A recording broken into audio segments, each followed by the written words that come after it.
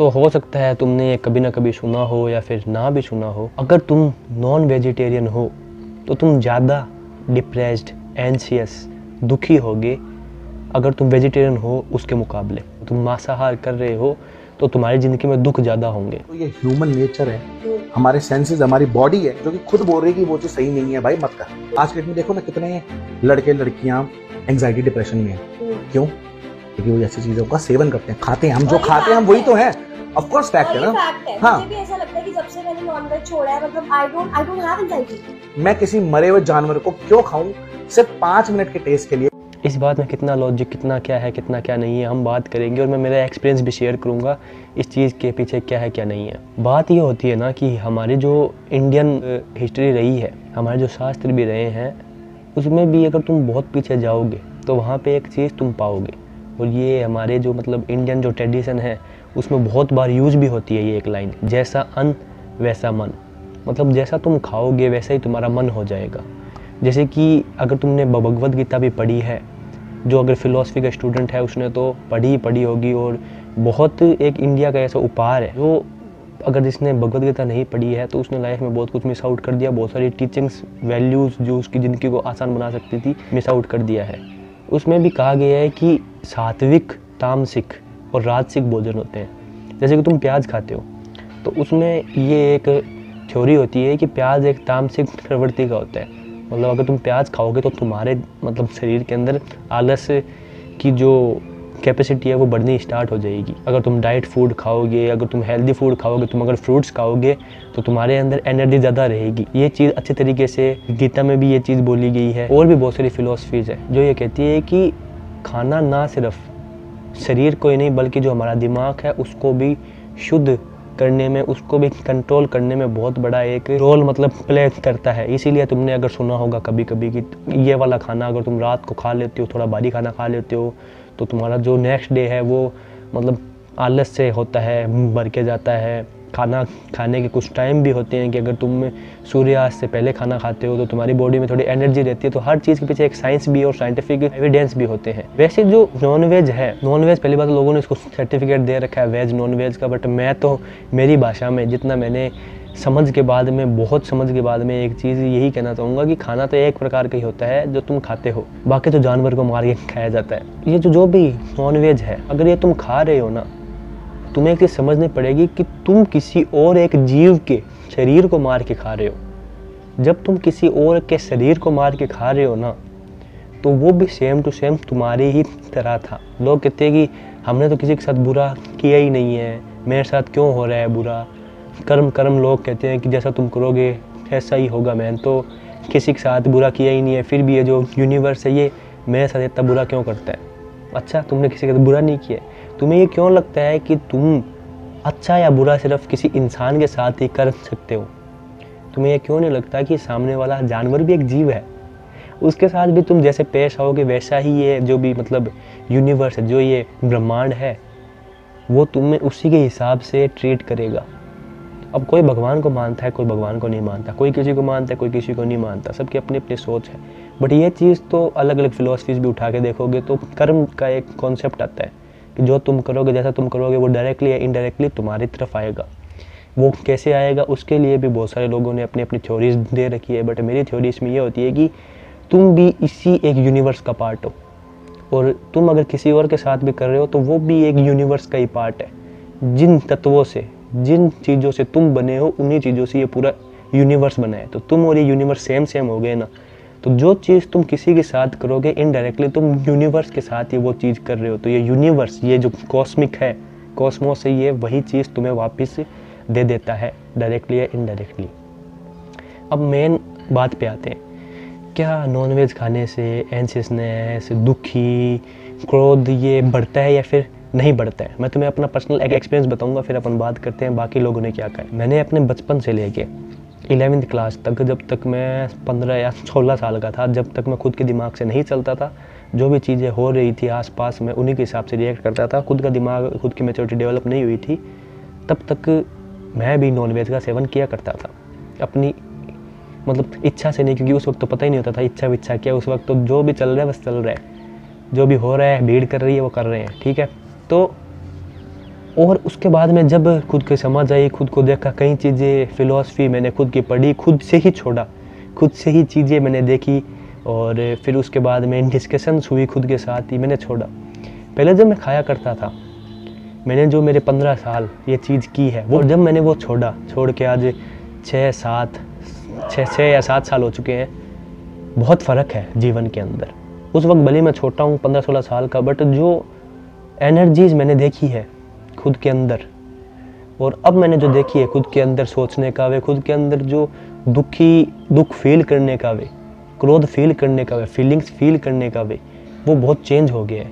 भले ही मैं उस वक्त 16 साल का हूँ पर उस वक्त मैं इलेवेंथ क्लास में 17 साल का हूँ पर इलेवेंथ क्लास में ये तो फील होता था ना कि जब कोई टेंशन होती थी तो उस वक्त क्या फील होता था और, और इस वक्त क्या फील होता है। अब ये हो सकता है कि शायद हमने मेडिटेशन को ज़्यादा महत्व दिया उसकी वजह से होता है या फिर हमने एक खाने को खाना माना या फिर जान को जान माना, ये भी हो सकता है। बट मुझे वही चीज़ें दिमाग में आती है, वही चीज़ें याद आती है कि जैसे मैंने पढ़ा था, जैसा अन, वैसा मन।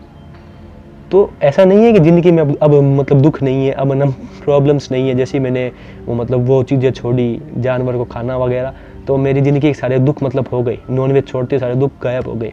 दुख होंगे प्रॉब्लम्स भी है ज़िंदगी में, पर वो प्रॉब्लम्स और वो दुख अब इतने अफेक्ट नहीं करते जितने पहले किया करते थे। और एक और चीज़ बता सकता हूँ मैं कि अगर तुमने ढंग से एक या दो साल कंटिन्यूसली मेडिटेशन कर ली मतलब ढंग से, जैसे मेडिटेशन होता है, जैसे खुद को जानने पहचाने का वे होता है, तुम चाह के भी नॉन वेज खा ही नहीं पाओगे। क्योंकि जब तक तुम मेडिटेशन नहीं कर रहे हो, तब तक तुम खुद के अंदर नहीं देख रहे हो और तुम्हें वो वो एक खाना ही पेश हो रहा है तुम्हारे दिमाग को कि ये भी एक खाना है और तुम उसको खा रहे हो। और जैसे तुम मेडिटेशन करना स्टार्ट कर देते हो तो तुम अपने शरीर से अलग होना स्टार्ट कर देते हो। मेडिटेशन करते करते एक पॉइंट ऐसा आता है, जब तुम्हें रोज़ ये फील होना स्टार्ट हो जाता है कि मैं, मेरा शरीर और मेरा मन, ये तीन अलग अलग है। पहले तुम्हें सब एक फील हो रहा था कि मैं एक ही हूँ, ये शरीर ही मैं हूँ। बट जैसे जैसे तुम मेडिटेशन करते हो जैसे जैसे जैसे तुम ध्यान करते हो वैसे वैसे तुम्हें ये फील होता है कि मैं, मेरा शरीर और मेरा मन तीनों अलग अलग है। और जब ये तुम्हें फील होता है तो फिर खुद को तुम अलग मानते हो इस शरीर से तो सिर्फ़ तुम इस शरीर का सोच के उसको खा नहीं पाते हो, जानवर को। तुम ये सोचते हो कि ये भी एक जीव है जो कटा हुआ है। ये बात बहुत सारे लोगों ने पहले भी की है। अगर तुमने संदीप महेश्वरी का अगर किसी ने शो देखा होगा तो उन्होंने भी एक बात, एक बार कही थी, अगर तुमने मेडिटेशन गलती से भी स्टार्ट कर ली, तुम किसी की, किसी भी जीव को कटते हुए या फिर मरने के बाद में उसको एज अ खाना देख नहीं पाओगे या फिर उसको देख ही नहीं पाओगे तुम कि वो उसकी जान चली गई है, मर गई क्योंकि तुम्हारे अंदर से दया आ जाएगी, करुणा आ जाएगी कि ये भी मेरी तरह ही है एक जीव है। और ये वो बात उस वक्त नहीं रिलेट कर पाया था, पर आज मेडिटेशन करने के कुछ सालों बाद में मेरे को वो बात बात आती है समझ में कि हाँ अगर तुमने ध्यान ढंग से कर लिया कुछ सालों तक तो वो चीज़ तुम्हें खाना फील ही नहीं होगी। वो तुम्हें फील होगा कि एक जीव को काट दिया गया है और तुम्हारे सामने पेश कर दिया गया है। फिर वो खाने वाली जब तुम्हारी फीलिंग ही नहीं आएगी अंदर से तो तुम उसको खा कैसे पाओगे? क्योंकि मेडिटेशन तुम्हें खुद से खुद जोड़ देती है। इसका मतलब ये है कि हम मेडिटेशन नहीं करें तो हम खुद से नहीं जुड़े हुए यस इसका मतलब यही है। तुम अभी खुद को बहुत कुछ मान रहे हो, बहुत कुछ सोच रहे हो कि मैं मन हूँ, मैं शरीर हूँ, मैं ये हूँ, मैं वो हूँ। पर अगर जब मेडिटेशन करने बैठोगे, जब खुद को जानोगे, पहचानोगे कि मैं क्या हूँ, क्या नहीं हूँ तो पता चलेगा कि मैं जो हूँ, वो बहुत एक लंबी फ़ील्ड है, बहुत डीप जाना है अभी। तो ये तो शरीर है, ऊपर का ऊपर का। हम इंसान हैं तो हम लकी हैं। कि हमारे पास कुछ इन्फॉर्मेशन मिल जाती है, हमें आसपास है, जिससे हम खुद को पहचान सकते हैं। अगर तुम्हें मैं स्टीव जॉब्स का एग्ज़ाम्पल दूँ। स्टीव जॉब्स सब कुछ छोड़ के उन्हें कैंसर हो गया था तो वो इंडिया में आए थे। इंडिया में आके उन्होंने मेडिटेशन की इंडिया में आके उन्होंने मेडिटेशन के साथ साथ नॉन वेज छोड़ा और उनका कैंसर बहुत हद तक ठीक होना स्टार्ट हो गया। वो कुछ महीनों तक रहे इंडिया में ढंग से याद नहीं कितने महीनों तक रहे, किसी आश्रम में रहे या फिर किसी ऐसी जगह रहे जहाँ पे नॉन वेज वगैरह नहीं, जहाँ पे सात्विक भोजन हम भी सात्विक भोजन नहीं करते हैं भाई। हम भी कुछ ना कुछ ऐड करते हैं ऐसी चीज़ें जो तामसिक या रात से कुछ भोजन को बना देती है। पर उन्होंने सिर्फ़ सात्विक भोजन किया, रेगुलरली कुछ महीनों तक। और तुम मानोगे नहीं, उनका कैंसर आधे से ज़्यादा ठीक होना स्टार्ट हो गया था। फिर वो कुछ महीने यहाँ पे रहे, ध्यान किया, उसके बाद में वापस वो अपने जब जाते हैं, जहाँ से वो आए थे, शायद अमेरिका वगैरह तो उन्हें कैंसर वापस हो गया। और जैसे कि तुम्हें पता है, स्टीव जॉब्स की डेथ हो गई, बहुत साल पहले हो गई थी। तो नॉन वेज खाना ही नहीं खाना, वो तो मैंने बहुत सारे वीडियोस बना रखे हैं। मैंने शायद एक वीडियो इस चैनल पे बना रखा है, पिछले बनाया था, इस वाला भी देख लेना जाके तुम, कि नॉनवेज क्यों नहीं खाना चाहिए, क्यों क्यों जानवर की जान कीमती है, सारे जितने भी हो सकते हैं लॉजिक मैंने उस वीडियो में दे रखे हैं। बट खाने के बाद में क्या होता है? क्या हमारी इस फ़िज़िकल अपीरेंस पे कुछ फ़र्क पड़ता है? क्या हमारे मन पे कुछ फ़र्क पड़ता है? क्या हमें वो दुखी करता है अंदर से? क्या हमें वो गुस्सा दिलाता है अंदर से? क्या हमें वो एंसियस करता है अंदर से? क्या हमें वो डिप्रेस करता है अंदर से। मैं ये ज़रूर कह सकता हूँ, उसके बाद में तुम खुद से जुड़ना बहुत ज़्यादा स्टार्ट कर दोगे। उसके बाद में तुम एक जान को जान मानना स्टार्ट कर दोगे। तुम्हें प्रेम की भाषा ज़्यादा समझ में आएगी, तुम्हें दया की भाषा ज़्यादा समझ में आएगी, तुम्हें करुणा की भाषा ज़्यादा समझ में आएगी। तुम्हें यह समझ में आएगा कि एक जान की भी क्या कीमत होती है और अगर तुमने उसके ऊपर से ध्यान करना स्टार्ट कर दिया तो तुम खुद से जुड़ते जाओगे।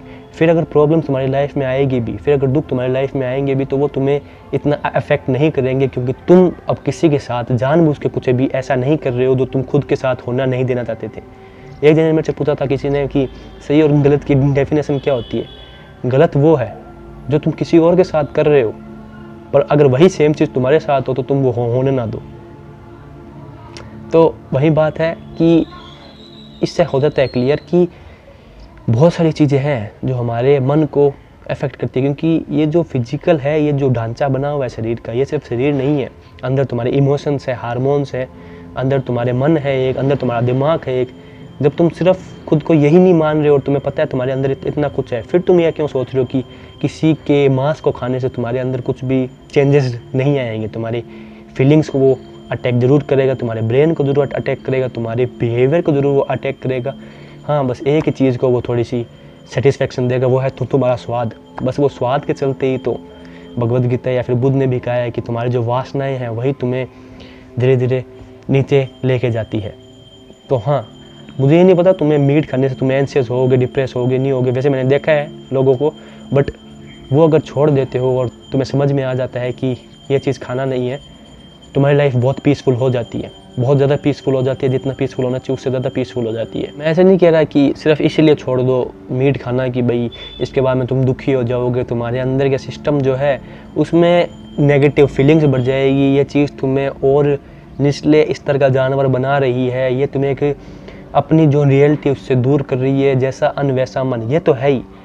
इसको छोड़ने का क्या रीज़न है? वो उसके ऊपर मैंने वीडियो ऑलरेडी बना रखा है। क्यों तुम्हें जीव हत्या, क्यों तुम्हें खाना नहीं समझना चाहिए इन चीज़ों को? क्यों मुझे आई थी समझ में? क्या मुझे समझ में आया? तो उसके ऊपर वीडियो मैंने ऑलरेडी बना रखा है। पर शॉर्ट में जाके यही कहना चाहूँगा कि कभी भी खुद की ही तरह किसी भी चीज़ को तुम उसके साथ कर रहे हो और कुछ भी जस्टिफिकेशन दे दो। और जब तुम एक जान ले रहे हो, वो जान ले लेके तुम्हारे पास आ रही हो और तुम उसको खाना मान रहे हो तो खुद को बेवकूफ़ बना रहे हो। सारे लॉजिक सारे फैक्ट्स सारा सब कुछ मैंने दे दिया अपने वीडियो के अंदर। तुम मुझे पता है ऐसे ऐसे नहीं छोड़ पाओगे, क्योंकि ये मन तुम्हें नहीं छोड़ने देगा चीज़ों को। मुझे पता है अच्छे से मैंने भी कई चीज़ें छोड़ी है, कई चीज़ें पकड़ी अपने लाइफ में, कई हैबिट्स छोड़ी कहीं कुछ बहुत सी चीज़ की है। तुम्हें नहीं छोड़ने देगा ये मन ऐसे ही चीज़ों को। तुम तब छोड़ पाओगे जब अंदर से तुम्हारे विल जागेगी, अंदर से तुम्हारी एक चेतना जागेगी कि हाँ ये जो मैं कर रहा था, वो गलत कर रहा था। ये चीज़ नहीं करने की योग्य है। ये चीज़ नहीं है होती ऐसे जैसे मैं सोच रहा था। मैं खुद को बेवकूफ़ बना रहा था। मैं सच में कुछ गलत कर रहा था। जब तक तुम्हारे मन में यह नहीं आएगा कि मैं गलत कर रहा था, तब तक तुम नहीं करोगे, वो जो चीज़ छोड़नी होगी वो नहीं छोड़ पाओगे। तो हाँ तुम्हें अंदर से दुख बहुत ज़्यादा अफेक्ट करते हैं, तुम्हें बहुत सारी प्रॉब्लम फील होती है, तुम बहुत सारा नेगेटिव फील करते हो बहुत सारा टॉक्सिक फील करते हो, अगर तुम नॉन वेज खा रहे होते हो, और वही चीज़ें जब एक वैसा इंसान, जो नॉन वेज जिसने छोड़ रखी हो और सिर्फ़ नॉन वेज छोड़ने से नहीं, जिसने अपने आप, अपने जो इंद्रियों को कंट्रोल कर रखा हो, जो ध्यान भी कर रहे हो, जो खुद से जुड़ा हुआ भी हो, जो खुद के सत्य तक पहुँच भी रहा हो, उसको उतनी अफेक्ट नहीं करेगी। जो गलत नहीं कर रहा होता है अपने साथ और ध्यान के रूप में सबको सही कर रहा होता है, उसके साथ बहुत जो प्रॉब्लम्स आती भी तो उसे प्रॉब्लम फील होती भी नहीं है, उसकी लाइफ एकदम एनर्जेटिक जाती है।